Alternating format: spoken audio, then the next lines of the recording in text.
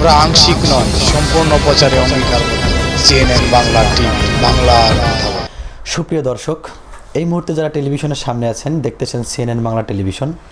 সবাইকে সিএনএন বাংলা টেলিভিশনের পরিবারের পক্ষ থেকে অনেক অনেক শুভেচ্ছা এবং স্বাগতম।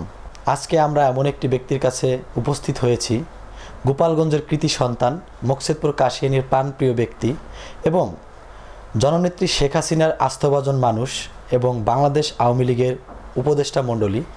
জনাব মুকুল ঘোষ, আমরা তার কাছ থেকে জানতে চাইব, সে বাংলাদেশের আওয়ামী লীগের একজন উপদেষ্টা হিসাবে তার কতটুক কার্যক্রম এবং তার সামনের দিকে এগিয়ে চলার কি অবস্থান এবং মকসেদপুর কাশিয়ানির সাধারণ মানুষের যে সে একজন প্রিয় ব্যক্তি, সেই হিসেবে তার সামনের দিকের চিন্তা ভাবনা এবং সাধারণ মানুষকে নিয়ে তার কতটুক প্রতিশ্রুতি?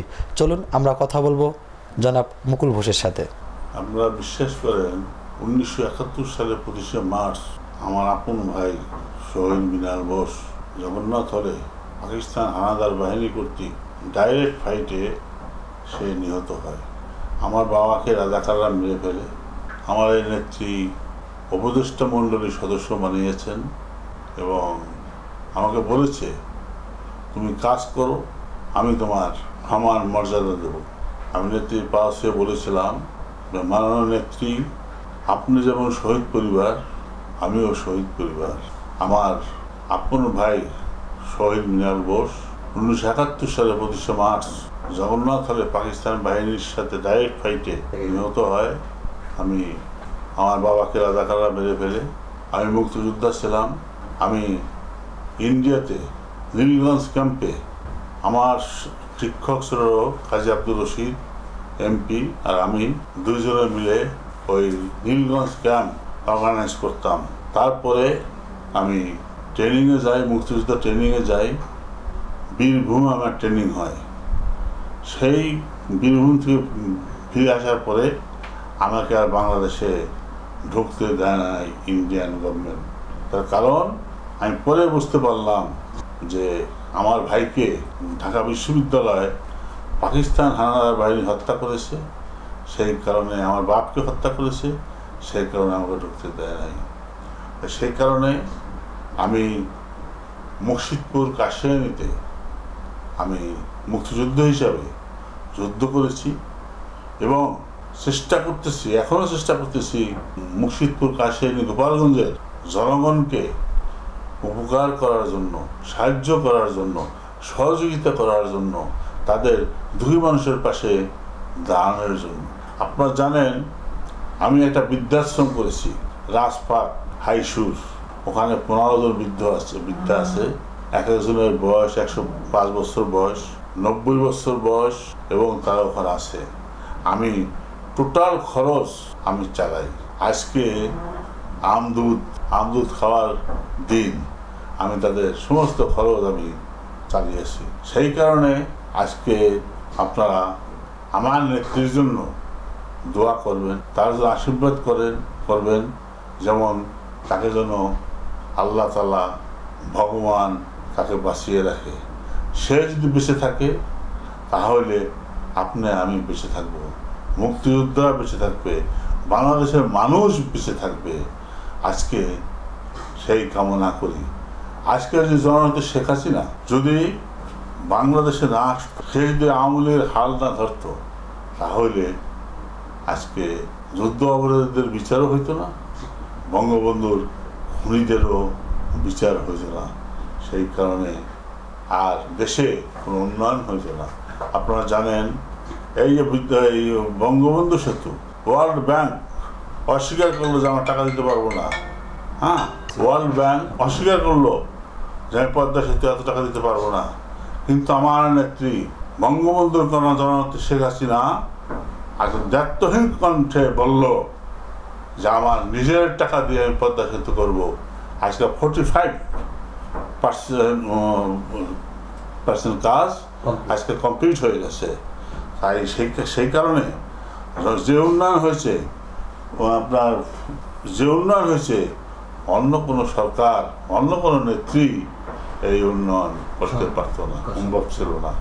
আজকে আপনারা আরেকটা কথা বলতে চাই সেটা হলো আমার নেত্রী আজকে বিশ্বের নেত্রী হিসেবে পরিচয় দিতে পারে। তার কারণ, আজকে বিশ্বের প্রত্যেকটা জায়গায় সে যেখানে গিয়েছে, সেখানে সে যে সম্মান, যে ইজ্জত পেয়েছে, বাংলাদেশের কোনো সরকার আজ পর্যন্ত সেই ইজ্জত সম্মান পায় নাই। আপনারা জানেন, আমার নেত্রী জননেত্রী শেখ হাসিনা ইন্ডিয়া ইন্ডিয়াতে গিয়েছিল। আজকে ভারতের প্রধানমন্ত্রী, আপনারা দেখেছেন প্রোটোকল ব্রেক করে তাকে আজকে সম্বর্ধনা দিচ্ছে প্রোটোকল ব্রেক করে। আর কোথায় ছিল? আজকে রাষ্ট্রপতি ভবন। রাষ্ট্রপতি ভবনে কোনো দেশের প্রধানমন্ত্রী এসা থাকতে পারে নাই। আমার নেত্রী জননেত্রী শেখ হাসিনা আজকে রাষ্ট্রপতি ভবনে অবস্থান করেছে। আজকে তাকে ভারতের রাষ্ট্রপতি প্রণব বাবু তাকে আমি শ্রদ্ধা করি, তাকে অভিনন্দন জানাই। সে আজকে তাকে আমার নেত্রীকে সম্মান দিয়েছে, সমস্ত ব্যাপারে সাহায্য সহযোগিতা করেছে। তাই আজকে আমরা মনে করি যে আমার বাংলাদেশে আমার নেত্রীর জন্য দোয়া করবেন। আমার নেত্রী যদি বেঁচে থাকে, বাংলাদেশ বেঁচে থাকবে, মুক্তিযোদ্ধারা বেঁচে থাকবে, আমরাও বেঁচে থাকব।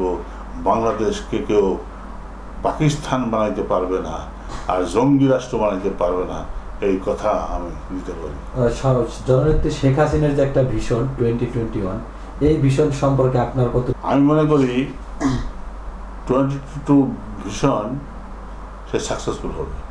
জননেত্রী শেখ হাসিনা যে বলেছিল যে বাংলাদেশকে দারিদ্র মুক্ত একটা দেশ করবে সেই দারিদ্র মুক্ত দেশ মানে করার যে তার যে একটা বাংলাদেশের কোনো জনগণ মানে মানে ক্ষুধা ক্ষুধা দরিদ্র থাকবে না সেটা ততটুকু আপনার কতটুকু? আপনি তো গ্রামের সন্তান আমিও গ্রামের সন্তান। আমি গ্রামে গিয়েছিলাম আগে একটা কিষান কত টাকা দিতেন? পঁচিশ টাকা তিরিশ টাকা চল্লিশ টাকা। আমি ছোট সময় দেখেছি। আজকে চার পাঁচশো টাকায়ও আপনি পাওয়া যায় না। কারণ অর্থনৈতিক উন্নয়ন হয়েছে। এবং সব জায়গায় আজকে আজকে কোনো লোক আজকে না খেয়ে নেয়। দশ টাকা চালের শের আজকে প্রত্যেকটা জায়গায় নেত্রী আজকে দশ টাকা চালের শের হিসাবে সবাই পাচ্ছে সন্তুষ্টভাবে পাচ্ছে এবং ভালোভাবে বেঁচে থাকবে। আমার নেত্রী বলেছে যে আমরা কাউকে না খেয়ে মরতে দেবো না আর আশ্রয়হীন থাকতে দেবো না। কিন্তু গৃহহীন থাকতে পারব না। কিন্তু আজকে কোনো কোনো লোক সাকসেসফুল হয়েছে। কেউ আজকে গৃহহীন থাকে আসেন নাই। কেউ আজকে না খেয়ে নাই মকসেদপুর কাশিনীর সাধারণ মানুষ যে আপনাকে এতটা ভালোবাসে সেই ব্যাপারে আপনার কাছে কেমন অনুভূতি মনে হয়? আমার অনুমতি আমি চেষ্টা করি মানুষকে হেল্প সাহায্য করার জন্য। আপনার জানেন এই আজ থেকে সাত দিন আগে আমি দশটা ছেলের চাকরি দিয়েছি এসেন্সিয়াল ড্রাগে আমার বন্ধু আপনার জগদু সাহেব সেই চাকরিগুলো দিয়েছে।